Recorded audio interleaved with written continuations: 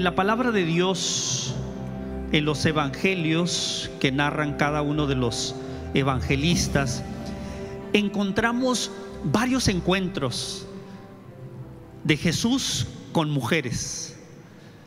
Yo sé que el encuentro entre un hombre y una mujer humanamente es diferente al encuentro que tuvo Jesús con cada una de las mujeres que él se encontró.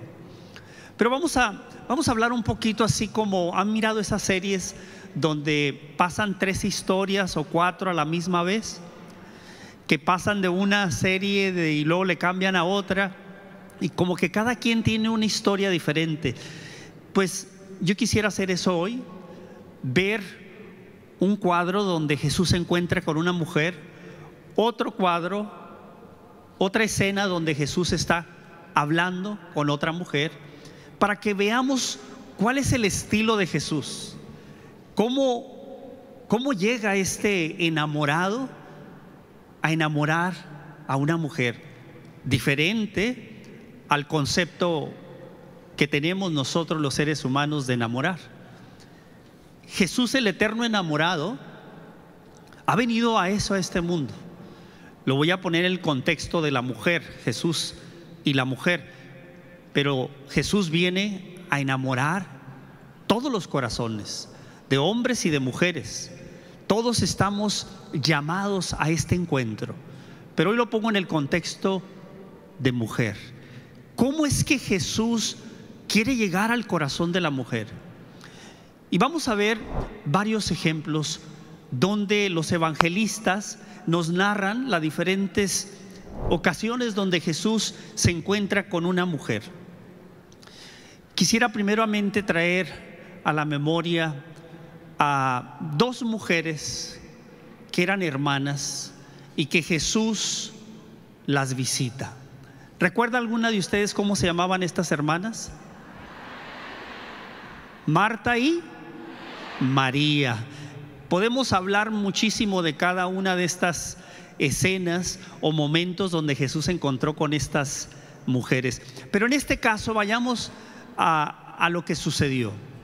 Nos narra el Evangelio de San Lucas capítulo 10, este escena. Es el único que narra este acontecimiento. Porque ya saben que eh, San Marcos, San Mateo, Juan y Lucas, los cuatro evangelistas, algunos narran la misma historia en diferente forma. Pero hay unos evangelistas que son los únicos que narran una historia particular. En este caso, San Lucas, que era un doctor, no era apóstol, no era de los doce, él narra esta historia recopilada de alguno de los apóstoles quizá, pero en este caso particular pues solamente Lucas narra esta historia, que Jesús un día llegó a visitar esta familia, que de hecho eran sus amigos, eran tres hermanos, dos hermanas y un hermano. ¿El hermano cómo se llamaba? ¿Cómo se llamaba el hermano? ¿Y qué le dijo Jesús a Lázaro cuando estaba en la tumba? Sal de ahí. A veces estamos como Lázaro, ¿no? Medios muertos. Y el Señor nos dice, sal de ahí. Hoy a las mujeres, salgan de ahí mujeres, ¿ok? Hay que salir de esa tumba del miedo, de los temores. Pues bueno, Jesús era muy amigo de ellos. Y nos relata la historia que Jesús llegó y cuando llegó estaban las dos hermanas, imagínense qué privilegio, ¿no? Que toque a la puerta. ¿Quién es? Es Jesús. Wow. Jesús entra. Y vemos aquí dos actitudes, dos actitudes de estas dos mujeres. Una de ellas, en cuanto miró a Jesús, y voy a un poco a tratar de crear esta escena, ¿no? En mi mente y de acuerdo a como lo narra el Evangelio. En cuanto entró Jesús, la actitud de María se quedó, me imagino, siendo aquí está Jesús. Ha venido a visitarnos el Maestro. Todo se le olvidó, todo lo hizo a un lado. Su mirada, me imagino, que estaba puesta en Jesús. Quizás en cada movimiento que él hacía. no solamente porque admiraba a este hombre, sino porque sabía que era más que un hombre, que era el enviado de Dios y que era una oportunidad única, porque como dicen por ahí, de esto no hay diario. Esta mujer tiene una habilidad de pensamiento y de prioridad que nos debe de sorprender y nos debe dar, nos da una enseñanza. Esta mujer supo elegir en ese momento la mejor decisión fue dejar todo a un lado para concentrarse en el hoy. Yo les hablaba de, vivir el hoy, no estar viviendo en el pasado, no estar viviendo en, el futuro, en el hoy. Y entonces esta, esta mujer es un ejemplo del vivir el hoy, de aprovechar el momento que tengo en esta hora, en estos minutos. Esto es lo, lo único que tengo. María hizo eso. Entonces María, imagino, pase maestro, tome asiento, se sentó Jesús y yo creo que María no despegaba su mirada de Jesús. Estaba atenta. Quería escuchar cada palabra que saliera de, de los labios de Jesús. Era una mujer que sabía quién estaba. Ahora veamos la actitud de Marta. Marta me imagino que en cuanto entró Jesús, voy a actuar, haber dicho, mete esto aquí abajo porque está ahí tirado. Ay, mete esto acá. Y miraba los trastes sucios y se puso a lavar los trastes. Puede ser que dijo, voy a hacer una comidita para el maestro para que se sienta a gusto. Voy a cocinar. Y ella, ¿y dónde estaba Marta? Marta estaba a los pies de Cristo, dicen, ¿no? María, ah, qué bien. Entonces, María estaba sentada o estaba a los pies de Cristo, atenta y Marta estaba en la chamba. Y entonces Marta le dice a Jesús desde por allá de la cocina, maestro, dile en términos mexicanos, dile a esta floja que me ayude. Está ahí sentadota y yo aquí preparando algo para comer, para que esté bien la casa. Y Jesús le da una gran lección a Marta. Y le dice, Marta, Marta. ¿Cuántas Martas hay aquí? Ahora, no hay que entender esto equivocadamente. Marta tenía un gran corazón. ¿eh? Era una mujer que quería que todas las cosas estuvieran bien. No hay mujeres así que no pueden estar tranquilas si no vieran que todo esté bien, ¿sí o no? Esto es, esto es maravilloso. Pero el problema que tuvo Marta es que no supo aprovechar esa oportunidad.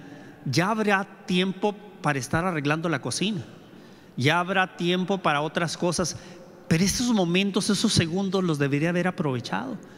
Y entonces Jesús le dice, Marta, Marta, estás preocupada, ahí está. Jesús está diciendo, estás viviendo en el, en el futuro, no estás viviendo el presente, Marta. Y dice, María ha escogido la mejor parte. O sea, María, tu hermana, ha hecho lo correcto. Deja de estar pensando en todas esas cosas que te roban ese momento. Mujeres, aquí hay una gran enseñanza. Jesús le estaba enseñando a Marta que hay cosas que no las puedes dejar pasar Hoy ustedes están como María, han venido aquí, pero estoy seguro que durante el día están pensando y cuando llegue la tarde y cuando llegue mañana voy a trabajar y qué va a pasar con esto y dónde estarán mis niños y dónde estará mi esposo, andaré en el fútbol. Estamos pensando en muchas otras cosas como Marta, pero la actitud de María es, es el modelo a seguir. Y Jesús le dice además a Marta que María ha escogido la mejor parte y dice unas palabras que a mí me llegan muy fuerte, muy profundo. Dice, y lo que ella ha escogido, nadie se lo podrá quitar. ¡Wow! Lo que ella ha elegido, o sea, a él, nadie se lo podrá quitar. Cuando tú eliges a Jesús como el Señor, como el Dios, como el compañero de tu vida, Él va a estar siempre fiel ahí contigo. Es el eterno enamorado. Jesús es fiel. Jesús no falla como nosotros los hombres. Jesús es el eterno enamorado que te ofrece su amor incondicional y que está ahí y que te presta atención y que está atento a tus necesidades. Ese Jesús es el que nos presenta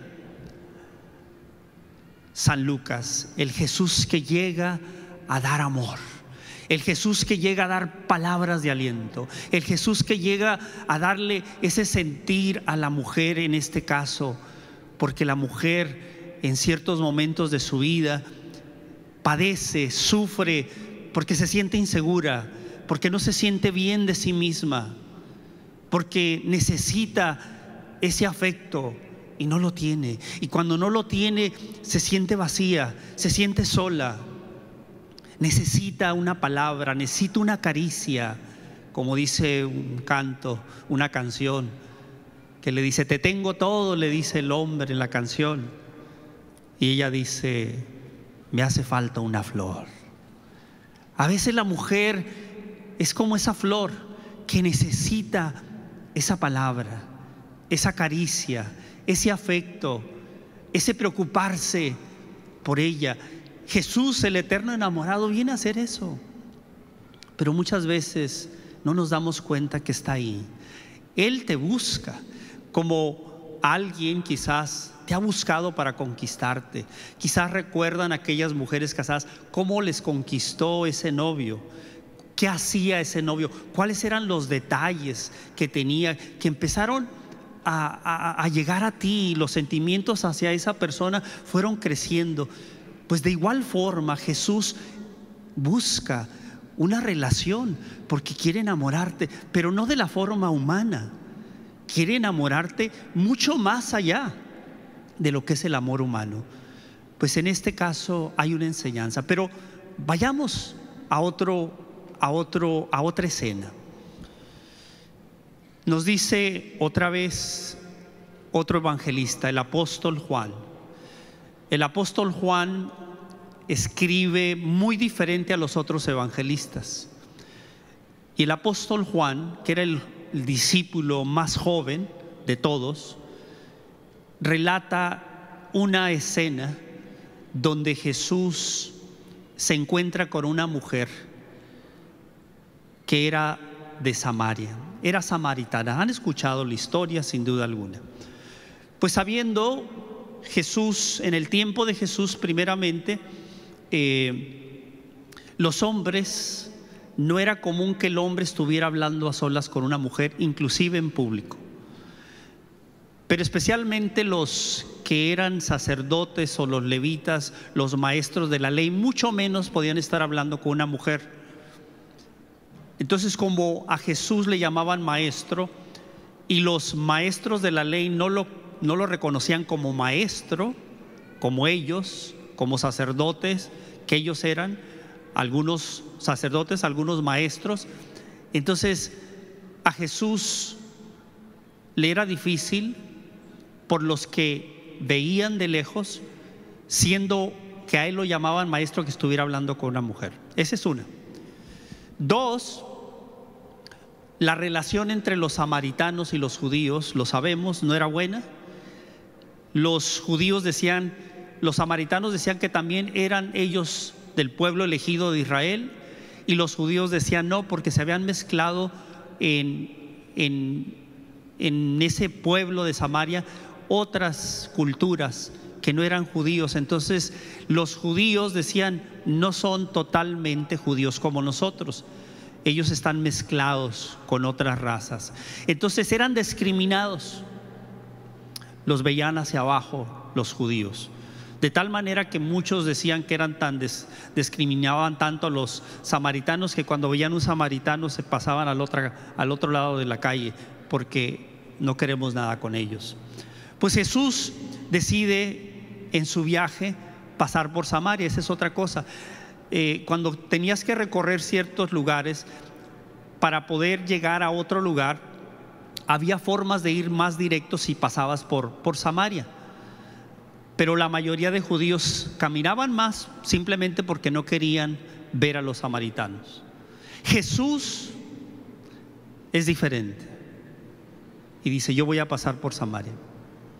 No solamente Él no distingue razas, color, piel. Él es el eterno enamorado. No importa quién eres tú, Él te ama. Entonces llega y dicen que era como al mediodía. Imagínense el sol que estaba. Y llega y Jesús tiene sed. Viene caminando. Doy gracias a Dios que un día yo estuve en mi visita a Tierra Santa estuve en ese pozo. De hecho, ahí está ese pozo en una, es un templo, un lugar donde está el pozo e inclusive el Señor me, me, permitió tirar el bote y sacar agua de ahí. Es algo maravilloso. Pues en ese es el pozo de Jacob. Allí estaba una mujer con su cántaro que venía a sacar agua. Venía a sacar agua de ese pozo. Lo hacía todos los días, era su rutina. Y esta mujer estaba ahí. Jesús también viene cansado del camino y se acerca al pozo. Y cuando está en el pozo, mira a la mujer. Yo quiero imaginarme, y lo he dicho muchas veces, que esta era una mujer muy bella, muy atractiva. Jesús se acerca y quizá de, primero ella se sorprende lo distingue, ella distingue que él es judío. Y se le hace raro que esté un judío ahí en ese pozo. Primero, los judíos no nos quieren, ha de haber dicho ella. Y este hombre está aquí. Qué raro. Ella va a sacar el agua y Jesús, el eterno enamorado, comienza a enamorarla en esta forma. Le dice, ¿me das agua? Me imagino ella, ¿agua? Eso lo encontramos en el capítulo 4 de San Juan, del Evangelio de San Juan. Y ella le dice, ¿me pides tú a mi agua? ¿Eres judío? En su mente está todavía esa guerra de cultura. O sea, ustedes se supone que no nos ven a nosotros como hermanos. Y Jesús empieza este diálogo de amor. Qué maravilloso. Esto mismo que hizo Jesús con la mujer en ese pozo es lo mismo que ha venido haciendo y que quiere hacer contigo, mujer. Es el mismo que hizo eso, es el mismo que quiere entablar comunicación contigo. Él es el mismo. Hoy, ahí donde tú estás sentada, aquellos que nos ven por televisión, que nos escuchan por ahí donde están, Jesús está ahí y se ha convertido este lugar en el pozo de Jacob. Aquí está Jesús, el eterno enamorado, y está ahí queriendo conversar. Y esta conversación comienza como a tomar una dimensión cada vez más fuerte. Y empieza el diálogo y le dice, ya después de que le dice que le dé agua, Jesús le dice a ella, si supieras quién te pide, quién, si supieras cuando le dice esa palabra, si supieras, si supieras, habla del amor que va mucho más allá de lo que imaginamos. Si supieras quién te pide a ti agua, ella no sabía quién era. Le dice, del que beba de esta agua, del pozo, volverá a tener sed, pero del agua que yo te ofrezco, no volverás a tener sed. La mujer comienza a querer tratar de entender de qué le está hablando.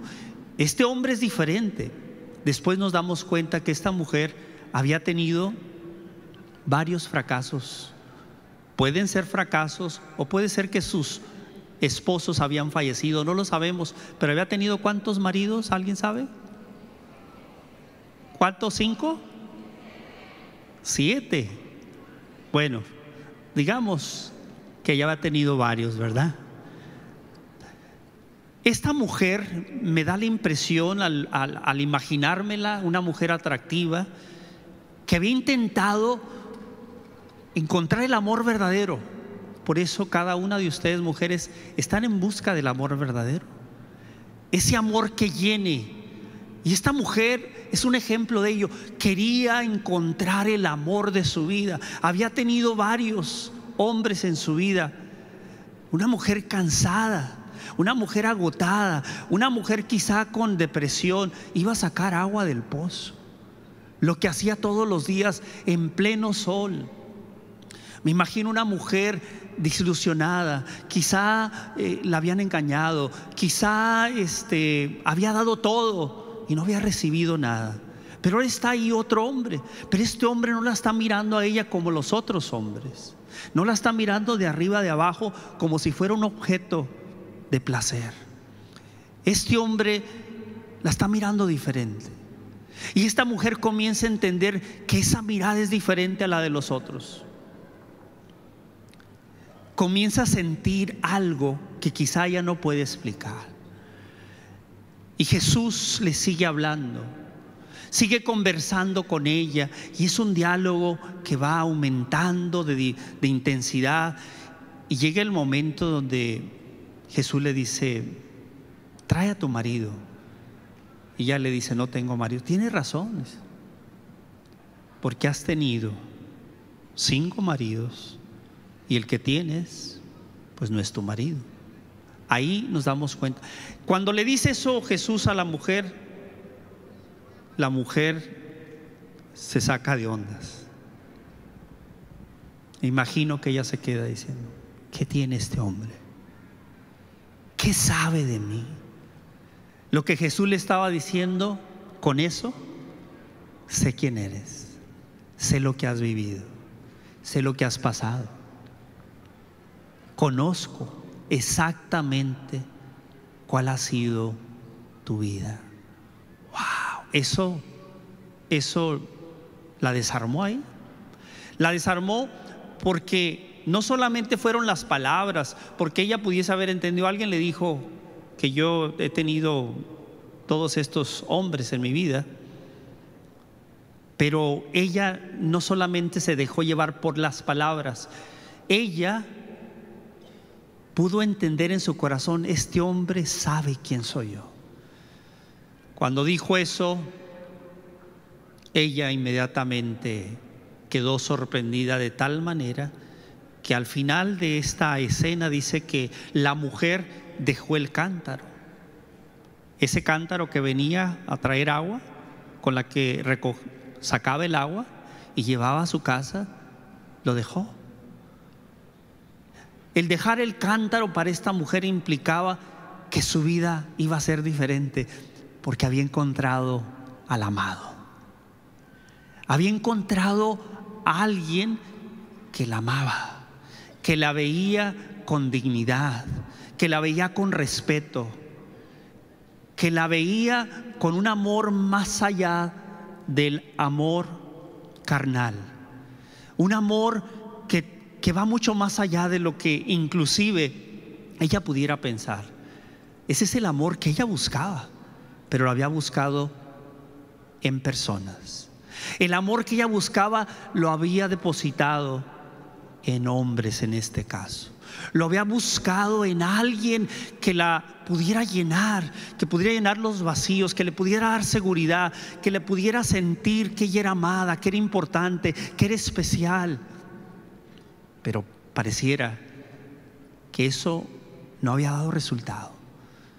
Con esto no quiero decir, queridas mujeres, como hoy escuchaba cuando venía hacia acá, una señora hablaba lindamente de su marido. No quiere decir que no hay hombres capaces de amar y de atender, respetar, ser fieles con sus mujeres.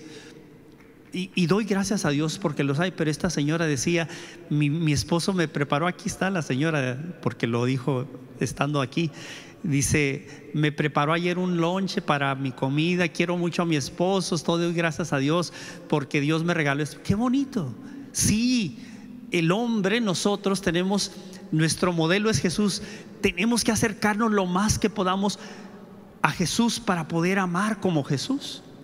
Y hay hombres que luchan por hacer eso, pero la dimensión del amor de Jesús nunca nosotros lo podemos superar. Somos seres humanos limitados. Ni el amor de ustedes, mujeres, ni el amor mío como hombre, o el de amor que es muy grande, el amor de una madre, nunca se comparan con el amor de Jesús, porque el amor de Jesús es perfecto. Pero ese hombre que estaba ahí, estaba enamorando a esta mujer, pero de un amor diferente. Y por eso le dice, si bebieras del agua que yo te daré, ya no tendrás sed. Mujer, Jesús, el eterno enamorado, te viene ofreciendo un agua donde ya no dependerás de otros amores para ser feliz. Cuando logres entender que este amor es tuyo y te lo da, te lo ofrece, y lo único que tú tienes que hacer es recibirlo. Porque hay otra cosa, no podemos no podemos nosotros pagar con nada lo que Dios nos da. No hay forma de recompensar a Dios el amor que Él nos ofrece incondicional. En ocasiones en la vida alguien te da un regalo, tú le puedes comprar un regalo mejor que el que te dio esa persona. Hay formas de recompensar a personas cuando nos dan algo. Pero en el caso de, de Dios, Dios te ama siendo pecadora, siendo pecador, y su amor es incondicional. No hay forma de pagar ese tipo de amores. Es recibirlo, aceptarlo y hacerlo tuyo. María que hizo, aprovechó ese momento y Jesús dice, lo que ella ha elegido, Marta, nadie se lo podrá quitar. Ustedes mujeres tienen hoy la decisión de decidir si el eterno enamorado sale de aquí contigo y estará contigo, miren, no solamente hasta la muerte, sino hasta la vida eterna. Porque el eterno enamorado está contigo en esta vida y te promete estar contigo en la otra vida. Amén. Imagínense Digo, esta es una realidad, no es un, cuento de, de, Walt Disney, no, no, no, no es ciencia ficción, esta es una realidad. Jesús está vivo, Jesús vive, Jesús está presente. No es un mito, es una realidad, es un hombre, es divino, su amor está aquí y es para ti. No venimos aquí a hacer teatro, no es un fin de semana de entretenimiento, hay mucho entretenimiento por allá afuera, nos podemos entretener en algún deporte, en un concierto, eh, eh, en un baile y, y divertirnos. Es entretenimiento, esto es mucho más que entretenimiento. Esto cambia la vida de una persona. Una persona que se sentía vacía como esta mujer a la orilla del pozo sale de ahí y en esos minutos que tuvo con Jesús le cambia la vida para siempre. Dejó el cántaro, dice que se fue a hablarles a toda la gente que encontraba y decirle, he encontrado al profeta, o sea, he encontrado el amor de mi vida. Él sabe todo lo que yo era, le he encontrado y empieza a hablar porque está enamorada. Una persona enamorada, enamorada habla, comparte de su amor, comparte de sus experiencias y eso es lo que hizo esta mujer. ¿Qué va? Eso es lo que hace el amor. El amor transforma. El amor es el arma más poderosa que puede existir. A veces pensamos, ¿cómo puede ser que vivimos en un mundo donde hay tanto odio, gente matándose, tantos crímenes, tanta violencia? Pareciera que va ganando el mal que el bien. Queridos amigos, amigas, mujeres, el arma más poderosa que existe es el arma del amor. Cuando Jesús vino, vino a mostrarnos este amor. Este amor que cambia, que transforma, que hace una persona que se siente que no sirve, que no vale, en una persona que siente que puede y da a los demás. ese amor transforma y es el amor que viene a ofrecerte el Señor. Pero vayamos más allá. Jesús en una ocasión nos narra también otra escena, el evangelista San Juan. Esta escena es un poco más fuerte porque, déjenle va. Esta escena es un poco más fuerte porque resulta de que hay una, un caso donde una mujer ha sido encontrada en adulterio. Eso lo narra el Evangelio de San Juan, el capítulo 8. Jesús tenía esa bronca con los, con los fariseos, no con todos, pero con muchos no lo querían. Los sacerdotes buscaban encontrarlo en una, en una falta, en una equivocación para decir, para decir al pueblo, este no es el maestro, este no es profeta. Entonces lo ponen contra la espada y la pared a Jesús y vienen y le dicen, maestro, y le dicen como, como en son de burla, ¿no? Maestro, pero no, era, no le estaba diciendo maestro porque ellos creían que él era maestro. Y le dicen, maestro, hemos encontrado esta mujer en adulterio. La ley dice que cuando encontramos a alguien así, tiene que morir a pedradas. ¿Tú qué dices? Imagínense, una mujer está ahí, todos los, todo el público ahí, esto es público, no era en, una sala, o sea, está el pueblo y están todos viendo. Imagínense, pongámonos un poquito en el lugar de esta mujer. ¿Qué estaba sintiendo? ¿La vergüenza? ¿Las críticas? ¿El odio? ¿Todo lo que decían? Mira lo que hizo esta mujer. Y ahí está esa mujer. No solamente sentía todo eso, sabía que en unos minutos iba a morir a pedradas. Imagínense, o sea, todo.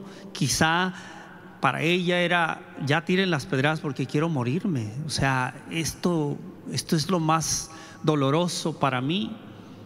Esta vergüenza, mejor tiren las piedras. Pero le preguntan a Jesús. Y Jesús le responde a los que estaban ahí, ya con las piedras en la mano.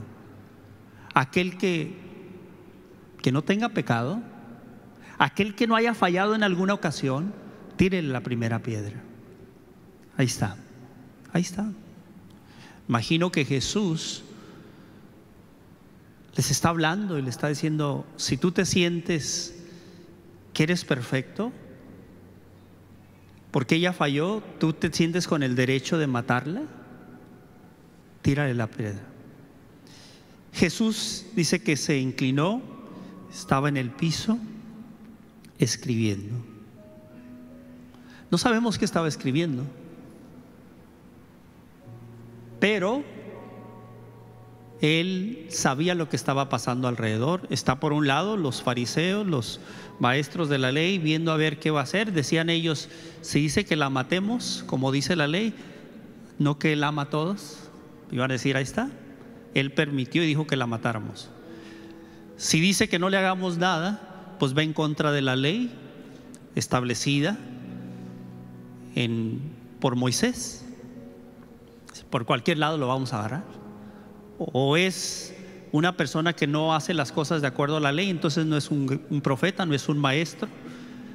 Y si dice que la matemos, ¿dónde está el amor que dice que tiene para todos?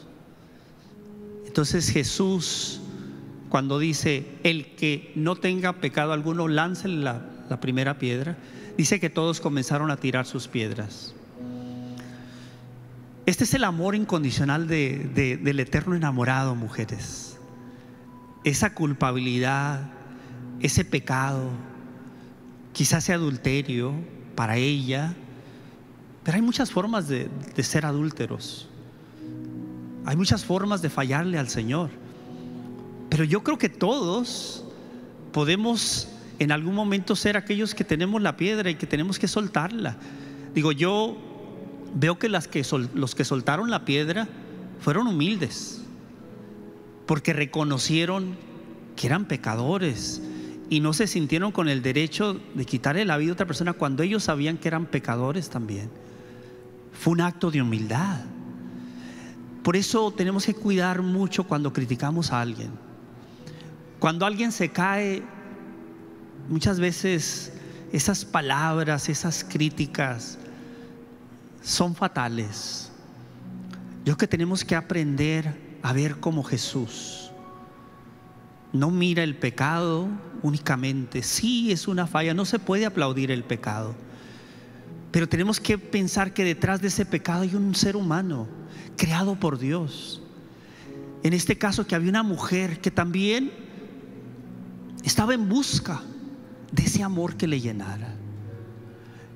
Sí se equivocó. Se equivocó quizá porque no estaba recibiendo el amor, porque se sentía vacía, quizá porque su esposo la maltrataba, porque su esposo no la valoraba. Y cuando eso sucede, la mujer se vuelve muy vulnerable. Porque repito, la mujer es como una flor, necesita es agua, necesita ese afecto. Esta mujer estaba buscando el amor. No creo que decidió solamente tomar la decisión de cometer adulterio porque sí. Pero ahí estaba Jesús. Y después de que soltaron las piedras, yo me imagino Jesús escribiendo en el piso, sabiendo que ya todos están yendo, Jesús se incorpora y mira a la mujer. Y yo estoy seguro que la miró con tanto amor. Y le dijo, mujer, ¿dónde están? ¿Dónde están los que te condenan? ¿Dónde están los que iban a tirarte la piedra? Y ya sorprendida, yo no, ¿qué pasaría? Los evangelistas nos narran nomás la superficie en unos casos, nosotros tenemos que adentrarnos con la ayuda del Espíritu Santo. ¿Qué pasaría por la mente de esta mujer? Imagino que lo mira él y dice, ¿quién es este hombre? ¿Quién es este hombre que me ha librado de la muerte? Y solamente les dijo unas palabras. No vino y gritó y dijo, o sea, pero no nomás eso. Me está haciendo a mí sentir que no nomás yo fallé, que todos fallamos. Y escucha las palabras más maravillosas que quizá había escuchado en su vida. Y le dice, yo tampoco te condeno. Yo tampoco te condeno. Wow. Vete y vete y ven, la perdonó y le dijo, hija, no lo vuelvas a hacer, lucha pero levántate, vete, vete es adelante. Y tenemos un sacramento maravilloso que se llama el sacramento de la reconciliación. Y cuando te dicen, te absuelvo de tus pecados, esa gracia de Dios viene. Vete, listo, borrón y cuenta nueva. Dicen que Dios no tiene memoria porque se le olvida lo que hicimos ayer cuando le pedimos perdón arrepentidos. Amén. Él es el eterno enamorado. Imagínense lo que sintió. Pero hay algo aquí interesante. Tanto la mujer samaritana no encontramos su nombre. No sabemos cómo se llamaba. Y esta mujer tampoco. Yo digo, eso lo venía pensando durante estos días. No lo había dicho esto antes. ¿Por qué hay ciertos personajes que tienen nombre y otros no? Marta y María eran sus nombres, pero esta mujer no hay nombre. La samaritana no, sabemos cómo se llamaba. Quizá para muchas mujeres, ustedes, para Dios, no, no necesitan dar su nombre para saber quiénes son, porque las conoce. Él las conoce perfectamente. Dios te conoce, Jesús te conoce. ¿Qué pasaría por la mente de esta mujer? Me ha perdonado, yo tampoco te condeno. Esa es la misericordia de Dios cuando nosotros logramos entender que el amor de Jesús va mucho más allá de lo que entendemos. San Pablo dice, nos habla de la paz que sobrepasa todo entendimiento. Y ciertamente cuando te dejas enamorar por el Señor, esa paz llega a tu corazón porque te levanta, porque te transforma, porque te hace una persona nueva. Ustedes saben, una persona enamorada eh, se le nota por los ojos, eh, está alegre, está motivada, está llena de vida. El día de ayer me encontré con una señora enamoradísima. Me dijeron, Noel, aquí hay una señora quiere conocerlo, está encantada, quiere saludarlo, sí, y llegó y venía con su hija. Y se vengo desde El Salvador, lo veo ahí, mi anhelo era conocerlo. Quiero un abrazo solamente, dice la señora. Le doy un abrazo. Y, estoy con ella y, la señora se mira llena de alegría, de, de, vida. Y dice, ay, dice hermano, él tengo 87 años. Le dije, pues usted está muy joven, no se preocupe. Usted está joven, el amor te rejuvenece. Hay jóvenes que parece que ya están jubilados, como dijo el Papa, Papa Francisco cuando lo entrevisté. Hay jóvenes que parece que ya están para jubilarse, pero yo quiero decir que hay personas que aparentemente ya están para jubilarse, pero el Señor ha hecho una obra que parecen de 15 o de 20 mujeres. Cuando el amor de Dios transforma, cambia, tu actitud es diferente, tu forma de ser es diferente, empiezas a amarte a ti misma. ¿Por qué? Porque si Jesús me ama, ¿por qué no me voy a amar yo? Si Jesús me perdona, ¿por qué no voy a perdonarme yo? Porque hay muchas personas que yo sé que Dios me perdona, pero yo no me puedo perdonar. Cometí ese, esa decisión de abortar. ¿Cómo me puedo perdonar? Jesús quiere ayudarte. El eterno enamorado quiere enamorarte tanto que seas capaz de perdonarte y amarte.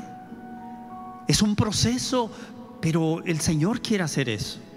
Sí, Dios nos perdona y a veces nos es difícil a nosotros perdonarnos. Decía mi hija cuando andaba de novia, dijo, le dijo a su mamá, dice, si un día le fallara y por ahí saliera embarazada, dice, no, no, sé que Dios me perdonaría, dijo, pero no sé con mi papá, dice, le tengo creo que más miedo a mi papá que a Dios. Obviamente nos reíamos porque ella tomaba en cuenta, ¿no? El respeto, el amor de un padre hacia la hija. Pero la verdad es cierto, Dios nos perdona y a veces nosotros somos mucho más difíciles para perdonar o para perdonarnos.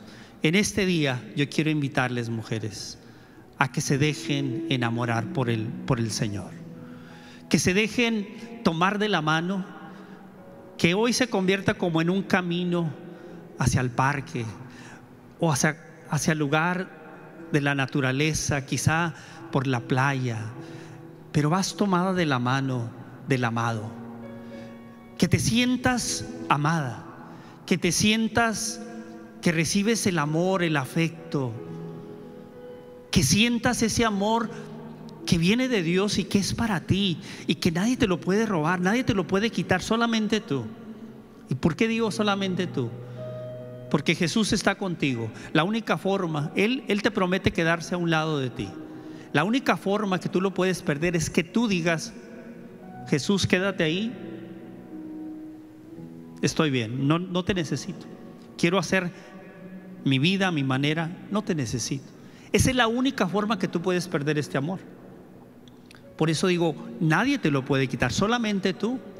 Y como Jesús es un caballero, si tú le dices, quédate ahí, yo no te quiero en mi vida, Él se va a quedar ahí. Te va a amar a la distancia, porque te ama. No te va a dejar de amar aunque tú lo rechaces. Él te va a mirar con ojos de amor y de misericordia, pero te va a dar tu libertad. Es, ese es el eterno enamorado que no quiere que lo ames a la fuerza. Él te ofrece su amor incondicional, pero tú decides si ese amor es recíproco. Si tú le quieres amar, Él está ahí. Y te dice, si tú me amas, yo te amaré. Y yo estaré contigo todos los días. Si tú crees en mí, yo soy la resurrección y la vida. Eso también se lo dijo a Marta después que había muerto su hermano Lázaro. Le dice a Marta, yo soy la resurrección y la vida. El que crea en mí, aunque muera, vivirá. Y todo el que vive y cree en mí no morirá jamás. ¿Crees esto, Marta? Su amor es eterno. Su amor no es para hoy solamente, es para siempre. Pero tú decides. Tú decides que Él sea el Señor de tu vida. Ya no tendrás que andar mendigando amor por otros lados, que si no me aman, ay, voy a caer en depresión, si me rechazan, si no me quieren, si me fueron infiel, quiere decir que ya no valgo. No, no, no, por favor. El eterno enamorado siempre estará esperándote ahí con una flor, I love you. I care for you. Eres importante para mí. Jesús te ofrece esa agua viva que le ofreció a la mujer ahí en el pozo de Jacob. Ven a recibir esa agua. Ven a recibir de esa agua que te ofrece hoy. Que este lugar se convierta en ese pozo de Jacob. Que este lugar se convierta en ese lugar de encuentro que Jesús tenía preparado para ti. Acuérdate él conoce tu nombre. Él sabe quién eres. Él sabe tus necesidades. Él sabe por qué has venido. Quizás te puedes identificar con alguna de estas mujeres con las que se encontró Jesús. No sé con cuál, pero estoy seguro que te puedes identificar pero como mujer, como una mujer que busca el verdadero amor, está a tu alcance. No tienes que hacer más para merecerlo, porque te lo ofrece por su misericordia. Sabes, nosotros estamos acostumbrados a dar algo para que nos den algo. Especialmente la mujer. Parece que cuando le hacen un favor quiere, quiere recompensarlo. Es así no se me olvida, una ocasión estaba pasando por un lugar, miré una mujer que estaba queriendo ponerle aire a su, a su llanta y estaba muy baja. Y entonces la miré que no sabía cómo, entonces le dije, ¿le ayudo? Y dice, sí. Entonces ya cuando le ayudé, le puse el aire, este, ya acabé, le dije, ya está. Y me fui y se quedó viendo así como diciendo, ¿le puedo agradecer? Le dije, no, gracias yo descubro que la mujer a veces tiene que devolver lo que le dan. O sea, es una forma de agradecimiento. Pero en el caso del Señor, no tienes que hacer nada. No tienes que verte mejor para que seas atractiva para Él. Claro, hay que cuidarse y alimentarse bien, hacer las cosas bien.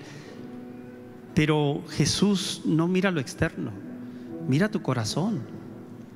Y eso es lo más maravilloso del amor del eterno enamorado, que te quiere conquistar hoy. ¿Te dejarás conquistar? ¿Te estás dejando conquistar por Él? Wow, este sí es amor, ¿eh? This is the real thing. This is the real thing. Esto sí es el amor. Qué maravilloso momento. Vamos a orar y vamos a decirle al eterno enamorado, aquí estoy, Cada una de ustedes está aquí por una razón. Algunos de ustedes quizá ni se imaginan lo que va a suceder en una semana, en un mes en sus vidas. Pero yo quiero creer por fe que cosas grandes van a ocurrir en tu vida que no habían ocurrido antes. Te vas a acordar de mí. Te vas a acordar de lo que yo te estoy diciendo.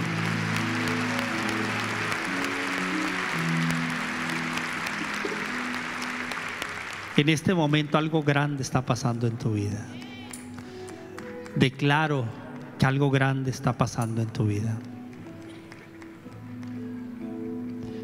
Sé que Jesús va a remover tantas cosas de tu corazón que has venido cargando por tanto tiempo.